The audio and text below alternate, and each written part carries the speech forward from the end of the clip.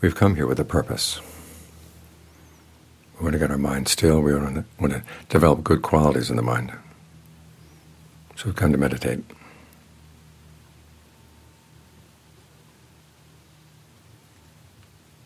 And as we begin to see the, the results come, we can see the happiness that comes from having a purpose. Everything we do has a purpose of one kind or another. Every movement of the mind has its purpose. Even when we try to get the mind really, really still, there's a purpose in getting it still so we can gain insight. So the insights can release the mind. There's only one thing, in, one possibility in human experience that doesn't have a purpose, and that's nibbana. That's because it's, your purpose has been achieved. But, until that point, you have to make sure that your purposes are in line with what will actually bring happiness.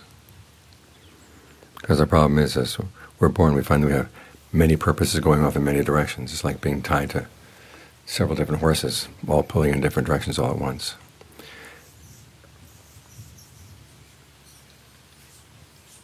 Well, the Buddha's images of six animals, each animal tied to a leash, and the leashes are all tied together. You've got a crocodile, you've got a monkey, you've got a hyena, you've got a snake, you've got a bird, you've got a dog. And they'll pull in different directions. We usually end up getting pulled apart.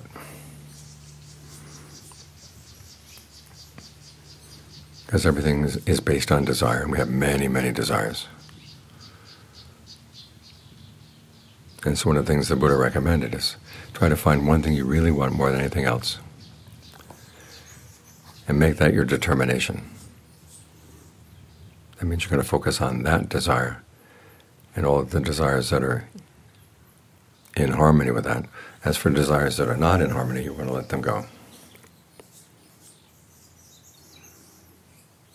That way this life can be used to accomplish something. After all, you're born with a human body, you're born with a human mind. And the Buddha is saying you can use that human body and you can use that human mind to find happiness. In other words, that means that your actions do come out of your mind. They are based on your choices, and they do have results. He goes on further to say that you can actually act in a way that leads beyond action. Even though this human body human mind are subject to aging, illness, and death, you can devote them to something that doesn't age, doesn't grow ill, doesn't die. You compare this with what some materialists say, which is that the human world is designed by physical forces over which we have no control. We think we're making choices, but we're not making the choices. We think the ones we're the ones who decide to do this, decide to do that, but actually our bodies are being forced by physical forces. That's basically saying you have a human body and you have a human mind, but you can't use them for anything. Why people would want to believe that, I have no idea, unless they just don't like the idea of being responsible.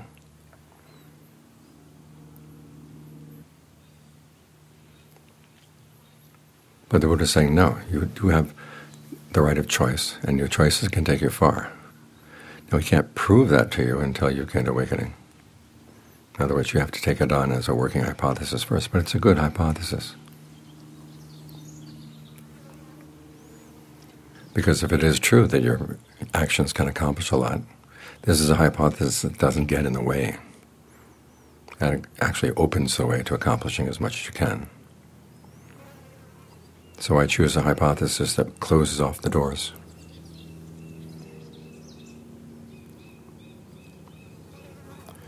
The problem is that our desires go in so many different directions. They can pull us left, right, up, down. And if we don't bring some order to our desires, we just go around and around and around without accomplishing anything. Think of the Buddha's knowledge of his previous lifetimes. Each time he was born with a certain appearance and a certain class of beings. He could remember the kind of pleasures he had, the kind of pains he had, the kind of food he ate, and then how he died. Over and over and over again birth, pleasure, pain, food, death. And as he said, going from one life to the next, it's like throwing a stick up in the air. Sometimes it lands on this end, sometimes it lands on that end, sometimes it lands splat in the middle.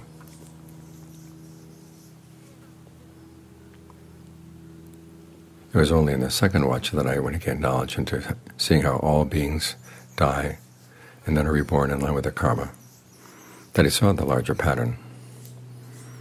But even then, the larger pattern for most beings was just going around and around and around. It was only in the third watch of the night that he found that there was a way out.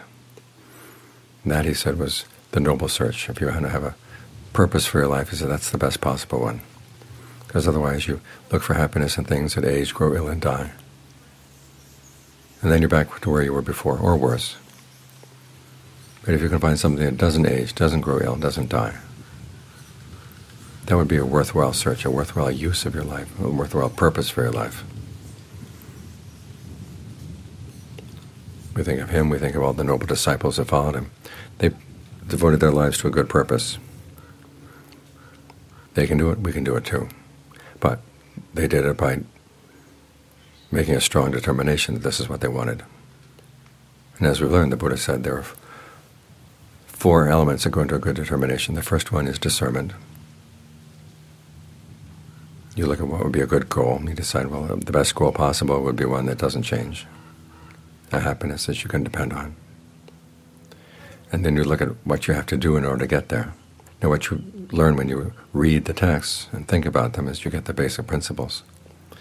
But you have to get the details by actually putting the principles into practice. There are three sources for discernment. There's listening, there's thinking, and then there's developing the qualities of the mind that are talked about in what you've listened to and what you thought about. And all three of those have to go together. Your discernment gets sharper as you put what you've learned into practice and reflect on what you've done.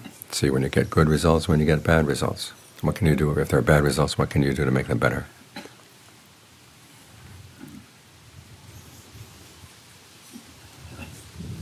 So discernment is a process that comes from committing yourself to the practice and reflecting what you're doing. And committing again, and reflecting again.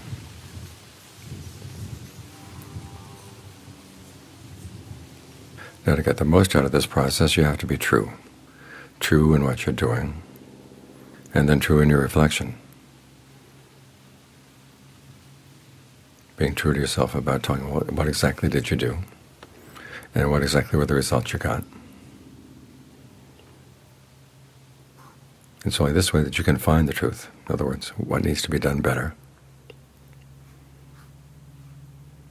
And of course, of devoting yourself to this practice, there are going to be some things you have to give up.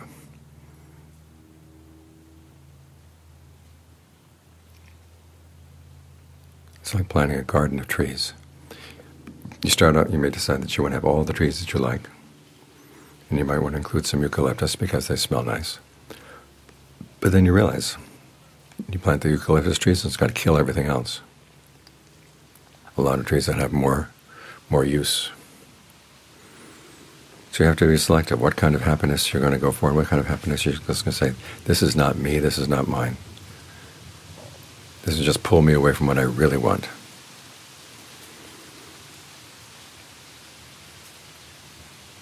That's a verse in the Dhammapada.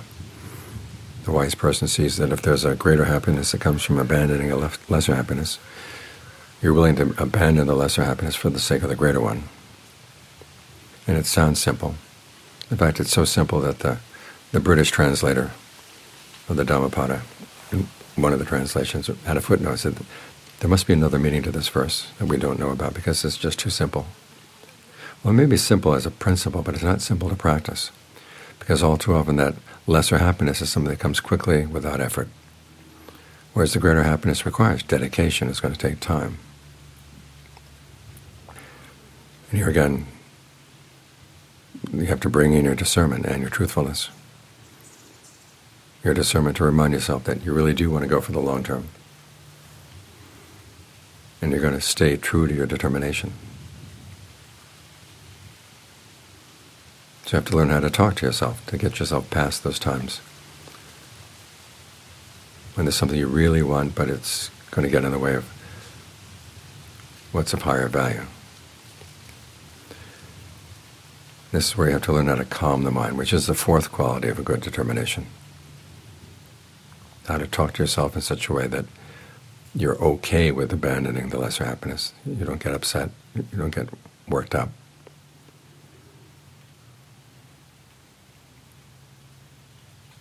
And you can keep in mind that you really will benefit. We hear so much about not self, and sometimes people say, well, there's nobody here to benefit from the practice. So the Buddha never talked that way. Even when he's teaching not self, as he said. Suppose someone came and was burning the leaves here in the in the orchard. Would you say they're burning me? Of course not, because the leaves aren't you and they don't belong to you. In the same way, he says, let go of what is not you or, you or yours, and that will be for your long-term welfare and happiness.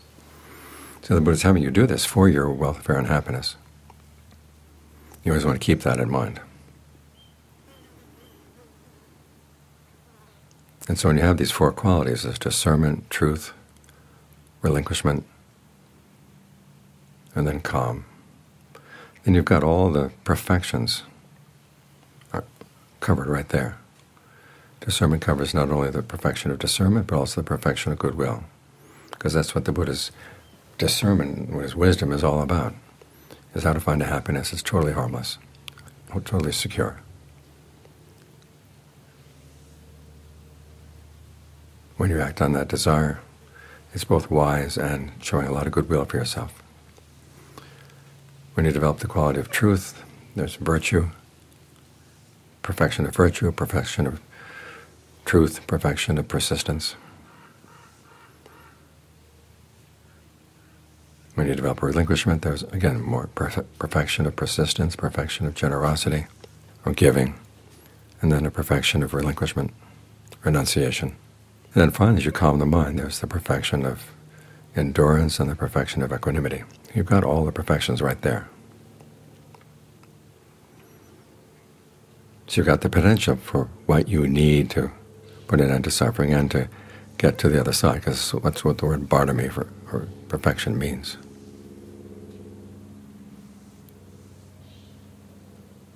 The Buddha's images of being on an unsafe shore of a river and seeing that the other shore of the river is safe, and you want to get across. So you build a raft. And where do you build a raft up from? You build it from the twigs and branches on this side of the river. In other words, the things that you've been holding on to that have been causing you to suffer, feelings, perceptions, thought constructs, you actually take them and you turn them into the path that will take you across.